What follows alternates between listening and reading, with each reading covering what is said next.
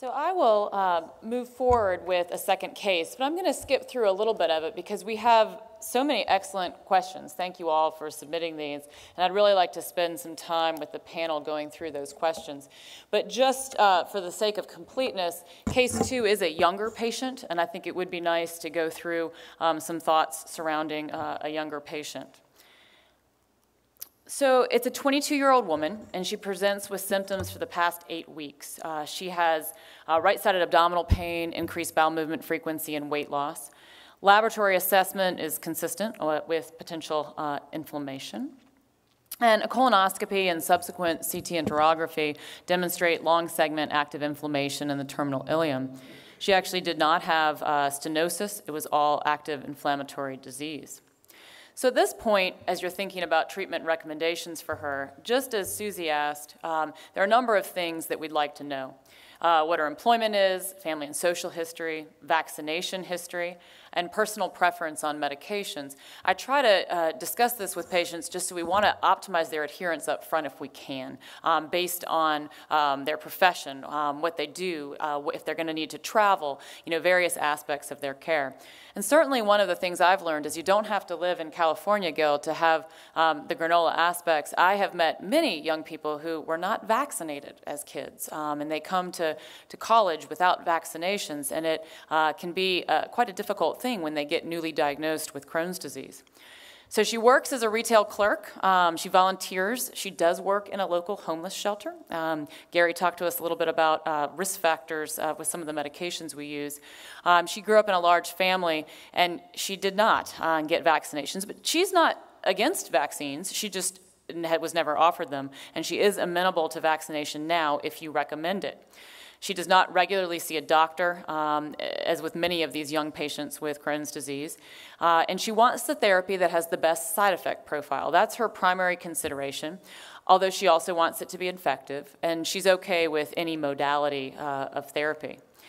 And so, really, I think at this point in her case, you're at a, a, point where you need to consider kind of two options. Do you bridge her with a therapy that would be amenable to offering live vaccinations now? And then subsequently um, start her on therapy? Or do you omit the live vaccines and go ahead and proceed with systemic combination therapy for Crohn's disease and inactivated vaccines? I think there are arguments for both approaches, and you'll have to involve the patient in terms of uh, this decision making. If we did want to think about um, bridging her, how long we would need, when you think about uh, live vaccines, as the panel has mentioned, you need to have at least four weeks after that um, prior to starting the immunosuppression, particularly for varicella vaccine and MMR vaccine, which are much more potent live vaccines than the uh, live zoster vaccine that we have available for older populations. And one thing to keep in mind is that you can do a two dose schedule for varicella vaccine separated by four weeks, um, and this is recommended if there is sufficient time prior to start of immunosuppressive therapy. And so, uh, with my pediatric colleagues, sometimes what we will actually do is uh, in these younger patients, sometimes you can bridge them on enteral nutrition therapy while you actually give them um, vaccines. And they, they will do that if the scenario is such that you feel you can wait. Administration of varicella vaccine can be considered in patients who are with IBD who are receiving long-term or low-dose immunosuppression. This is a newer recommendation per IDSA. Um, again, uh, the, the real um, issue here is you want to avoid um, active um, varicella and activation of that vaccine. Um, MMR should not be considered with any level of immunosuppression, um, only, prior, uh, only prior to. And you can give one or two doses of this vaccine at least four weeks apart, depending on the indication. And so you really do need to have some time if you're going to give her live vaccines in order uh, to delay and wait and start uh, uh significant immunosuppression there, there are very little data um, about uh, are some of our medications better than others in terms of giving live vaccines. At this point, there's been a case report published on um, vedolizumab. Um, no, no data exists um, other than, uh, than this, really. The FDA label actually indicates that patients should receive live vaccines on um, vedolizumab only if the benefits outweigh the risks. Um, certainly, um, in, this was a University of Chicago patient, there was a case report kind of when that measles outbreak happened that they wanted to um, a booster vaccinate one of their patients, and they described her scenario with receiving this vaccine on vedolizumab. When we get to the panel, I, I will ask uh, if others have any experience with this, but at this point, again, uh, it's not um, recommended. Um, how do you counsel her? You really want to talk to her about the infectious risks of IBD therapies, particularly given the fact that she's really emphasized uh, a therapy with the best side effect profile as her desire. And so, uh, tuberculosis is something you want to consider. She volunteers in a homeless shelter, and those are people that are at increased risk.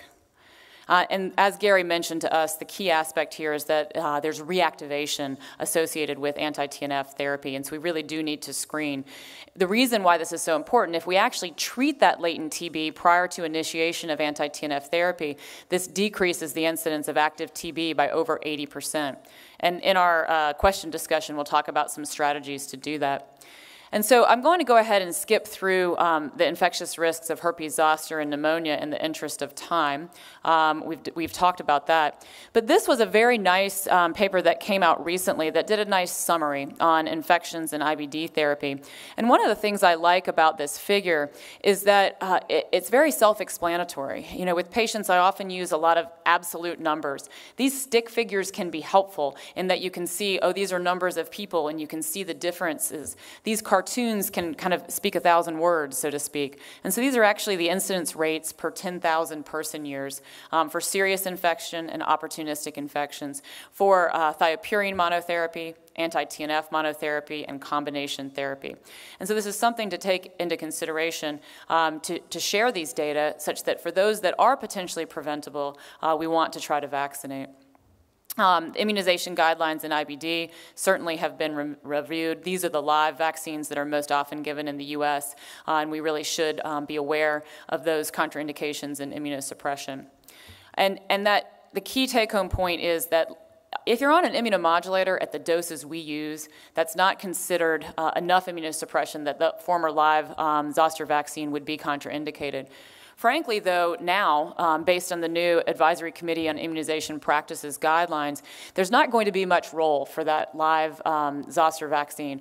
The new uh, inactivated zoster vaccine is much more potent. It seems to have better durability.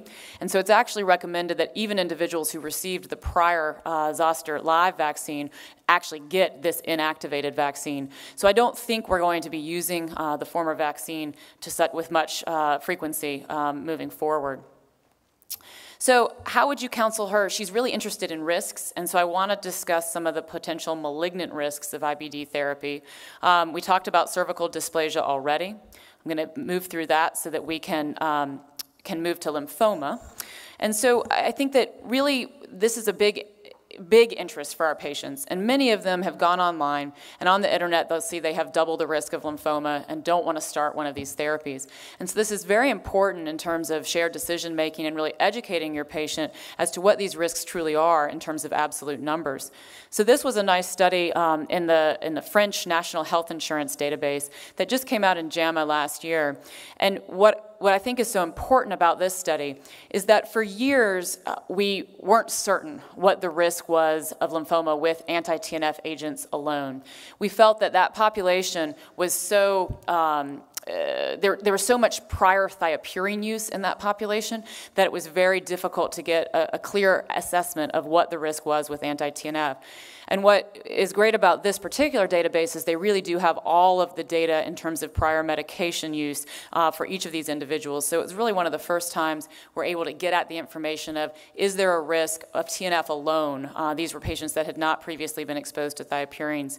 And these are the risks, the incidence rates per thousand patient years for lymphoma. And as you can see, um, unexposed it was 0.26, thiopurines 0.54, anti-TNF alone 0.41, and combination therapy 0.95.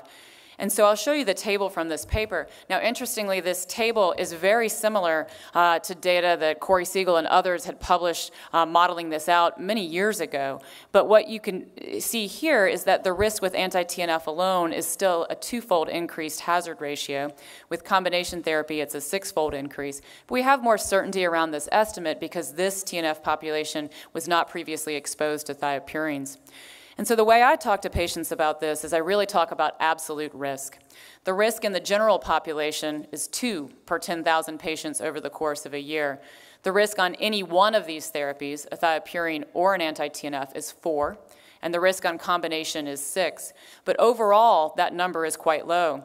And you, when you compare it to the risk of if someone's had an ileocecal resection requiring surgery over the next five years, which is 50%, 5,000 out of those 10,000 patients, you can really help the patient to see the risk benefit.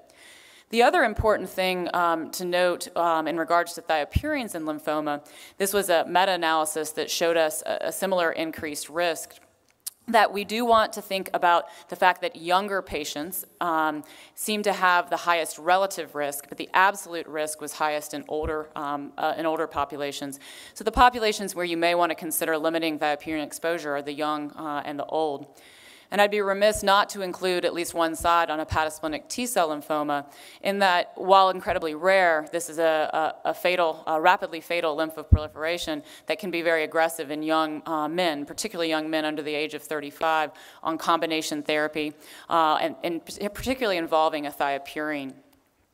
And so the estimated risk, absolute risk on thiopurines is 1 out of 45,000. In men less than 35, here are the numbers. I think that the key aspect is that if you're not under the age of 35, you have a, a very low risk. Um, in fact, 99.9% of patients will not develop hepatosplenic T-cell lymphoma with the exception of men younger than age 35. And finally, I just wanted to touch on with thiopurines, when you're discussing risks with your patients, we do also have some newer data that are looking at urinary tract malignancies with thiopurines. And this was a French cohort study that demonstrated an increased risk um, in individuals currently on thiopurines. But actually, once the thiopurine was stopped, this risk did not persist. So it's similar to lymphoma in that while you're on the drug, this risk seems to go up. But once you stop it, it goes all the way back down to baseline, which is unlike the risk that, uh, that my colleagues have described with non melanoma skin cancer, where actually that risk still persists after discontinuation. And the reason we think that's the case is that there's actually been phototoxic damage that has occurred at the DNA level associated with the photosensitivity uh, with azathioprine. And so that's not reversible. And so, uh, again, wearing that sunscreen now, that primary prevention can help with that. With urinary tract malignancies and lymphoma, the key is once that thiopurine is stopped, that risk goes back to baseline. And so this was also just a nice summary slide that I wanted to review before we move into the next section on malignancy and IBD. Where as you can see, for lymphoma, there seems to be an increased risk, particularly uh, thiopurines, although certainly there with anti-TNF now. For non-melanoma skin cancer, thiopurines, uh, perhaps a signal with anti-TNF. Melanoma, it really seems to be driven by the TNF. Urinary tract cancer, thiopurines. Colorectal cancer, actually, as, as Susie mentioned, you know, these medications that treat that ongoing inflammation, that histologic inflammatory activity is what we think drives this. And so particularly for thiopurines, uh, and, and starting to see even with anti-TNFs, we have data that this reduces the risk of colorectal cancer in these individuals. Importantly, there have been studies in breast cancer. There does not seem to be any increased risk, risk of solid organ tumors like breast cancer. And so overall, in terms of thinking about the risk of cancer, again, um, based on this chart, you see somewhat higher associated with thiopurines, and that may affect our prescribing patterns and our treatment strategies for our patients. And I know there's some questions about that, so we will get to that with the panel. So just in summary for this case, before we move on, um, I would recommend prevention of infections. So immunizations as appropriate, pneumococcal, influenza are inactivated. So we could discuss bridging therapies to allow for live vaccination or forego it. She was so terribly symptomatic that we really didn't feel that we had the ability to wait. She didn't respond initially to Entocort, and so we forego, we forwent, I guess, um, the live vaccines and did the inactivated vaccines and started her on therapy. Importantly, we did do TB and hepatitis B testing prior to biologic. And in my practice, I don't necessarily check an annual PPD or an annual IGRA. I do more of a risk-based approach where if someone travels internationally to endemic areas, or as in this case, she volunteers in a homeless shelter, she's certainly someone who I would repeatedly um, check uh, from, from a um, exposure to tuberculosis standpoint. I did offer her HPV vaccine, again, an inactivated vaccine, um, pap smears at recommended intervals, and we discussed the importance of um, skin cancer uh, prevention, uh, both through um, sunscreen use and regular skin screening.